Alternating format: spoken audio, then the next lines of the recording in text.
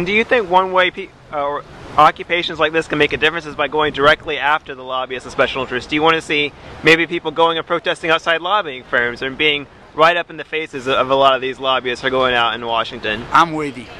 You can lobby outside the White House. You can lobby outside the Democratic caucus room. You can lobby outside K Street. I'm with you.